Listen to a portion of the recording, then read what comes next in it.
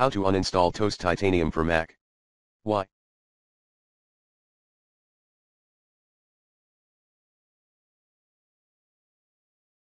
Possible reasons, corrupted client, unwanted installation, more, b.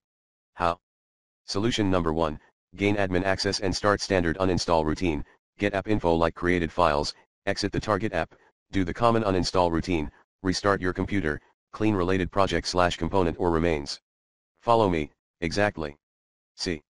Solution number 2, try the recommended uninstall tool pro in the description area, if this removal guide fails to work. Tip, please PM me if you need further assistance.